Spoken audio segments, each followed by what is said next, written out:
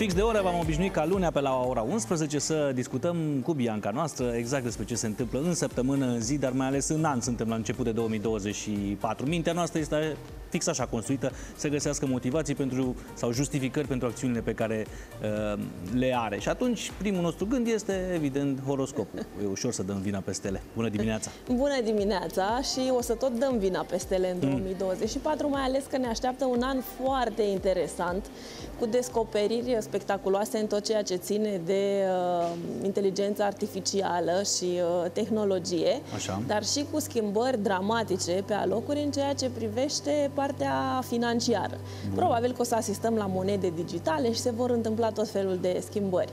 Ce este cel mai important de reținut este că suntem într-un an karmic, adică după faptă și răsplată, toate alegerile pe care le-am făcut în uh, trecut își au acum uh, nota de plată. Drept urmare, dacă ni se întâmplă să pierdem niște bani, să fie niște separări, niște demisii, nu știu, tot felul de evenimente neplăcute, în loc să ne supărăm pe astre, să ne mulțumim că astfel reușim să ne uh, echilibrăm. Da. Dar avem și niște norocoși. N-ai spus că s-au închis lucrurile astea în 2023? S-au închis lucrurile acestea, dar în continuare în univers, pentru că totul este echilibru, evident că nu putem să spunem niciodată că totul este chiar pe curat. De fiecare dată ne întoarcem în trecut și mai avem ceva de reparat, de curățat pe un alt sector al uh, vieții. Uh-huh. Fiecare cu uh, colecția lui, dar avem și norocoși. Vorbeai de norocoși. Vorbim de norocoși care sunt, care sunt în principal uh, taurii și asta până okay. undeva uh, prin, uh, apro- prin uh, apropierea verii, Bun. după care gemenii își iau și ei uh, norocul uh, de partea lor și avem câteva zodii norocoase, mai ales pe plan uh, financiar. Ok. Și nu se așteaptă nimeni să fie ele, pentru că de obicei se consideră mama răniților și victimele supreme. Adică? Așa că le avem pe fecioare, care uh, mai ales uh, de pe 25 martie încolo scapă de niște blocaje financiare și or să facă bani foarte uh, frumoși. Uh-huh. Apoi uh, scorpionii. fecioarelor de... Martie? De pe 25 martie, da, lucrurile se vor... Deci încasezi sala palatului, nu fi nebun. și până atunci ce fac? Am nevoie de bani și până atunci. Păi o să faci bani și, și până Ok. atunci. Eu am zis doar că după 25, 25? martie or să, să fie mai câștiguri și bubui. mai uh, însemnate. Și avem norocoși și pe uh, scorpioni. Ei Pau, o cichi, să mau, vadă mau, cichi, mau, mau. încasările, mai ales după 25 mai încolo și s-ar putea După să facă tine. tot felul de investiții comune, să câștige o grămadă Dar de, tu nu te de uiți bani. numai la redacția asta, adică Nu, nu, nu, nu, nu. Îi avem și chiar pe așa Cap- arată? Chiar așa arată. Îi avem și pe uh, Capricorni. Deja de pe 20 ianuarie, când Pluto intră în vărsător în casa banilor, ei vor avea niște uh, salturi uriașe pe plan uh, financiar Mhm. și chiar și peștii au și ei parte de mare noroc în uh, acest an uh, la bani. Iar dacă vorbim despre uh, căsătorie sau despre cine se îndrăgostește sau cine duce relația la un alt nivel, atunci vorbim despre scorpion și săgetător. Despre, după cum vezi, nu am prea vorbit despre lei, pentru că la ei norocul este pe tot ce ține de străinătate, călătorii, uh, cursuri. Iar ăștia.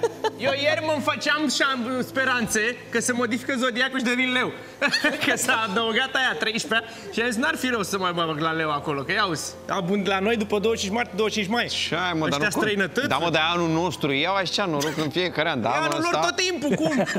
Lasă, conduceți bine anul ăsta, nu au motive să se, să se plângă. Spune-mi altceva, uh, cu sănătatea, cine stă mai uh, șubră de așa? Um, nu neapărat că stau mai șubre, dar tot fecioarele sunt cele care trebuie să-și schimbe radical uh, stilul de viață De azi. și în această săptămână se deschide un culoar pentru că vom avea parte de o Să ai lună. bani, dar Răcește. Dacă Ia răcesc, vină. vă sparg. N-am- n-am- N-am zis asta.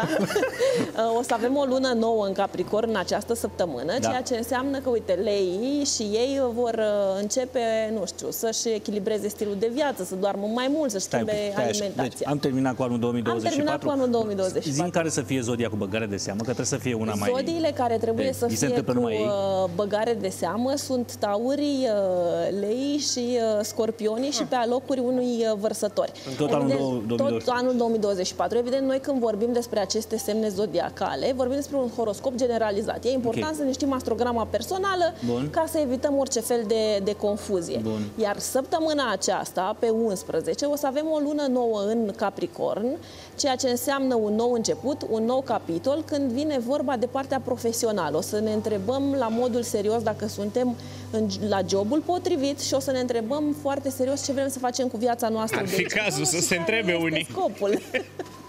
Am înțeles, dar noi nu mai deschidem capitole, nu le închidem niciodată, mi se pare? Închidem, stai puțin, că pe 25 februarie Ah. este lună plină în leu și acolo închidem un uh, capitol. Deci întotdeauna avem mai multe uh, perioade în care se deschide un capitol nou și apoi după șase luni se închide acel uh, capitol. În astrologie totul este uh, ciclic. Corect. Odată la... Depinde de planeta Depinde. despre care uh, vorbim. Da, să avem încredere în uh, uh, ciclicitatea asta la șapte ani? Să avem uh, încredere și uh, 7 ani și 18 ani. Mă rog, dacă urmărești un uh, horoscop făcut Da. ca la carte, o să fii mereu la curent cu uh, această ciclicitate și cum își schimbă și cum ne influențează până la urmă fiecare tranzit uh, astral. Ok, ne întoarcem. Joi. Se întâmplă că... Lună nouă în uh, Capricorn și dacă vrei să ne uităm pentru fiecare zodie în parte rapid, o să pot să-ți spun că berbecii au parte de niște uh, oportunități profesionale majore, li se schimbă statutul sau își schimbă un, uh, un job. Taurii or să învețe 100% că pentru a avea succes trebuie să-și schimbe uh, mentalitatea. Gemenii se poziționează diferit față de creditele sau de datoriile pe care le-au uh, făcut. Uh, Racii or să pună la cale noi parteneriate și apropo de raci, se deschide un nou capitol de șase luni în care oamenii ăștia pot să-și găsească ursitul sau pot să-și găsească jumătatea, ca Iar? să spun așa. Mie Iar Dumnezeu ăștia îmi dă șase șanse, luni dar eu nu le văd. în Care pot să-și găsească un uh, partener cu potențial de, uh, de soț. O fi șansă, dar Dar nu văd eu. Sar gardul mereu.